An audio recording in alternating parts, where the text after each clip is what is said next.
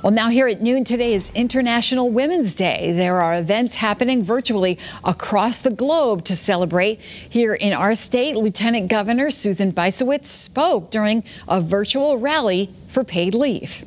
We've been incredibly focused on advancing priorities for women and families because at their core, uh, women's issues are economic issues and Bysiewicz will also deliver the keynote speech during iHeartRadio's Pretty Tough live stream. That event is at 2 o'clock.